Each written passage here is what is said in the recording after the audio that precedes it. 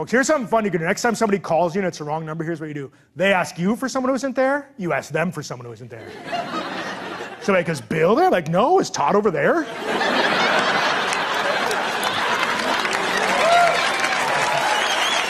right, thank you guys very much. Hey! Fantastic. Really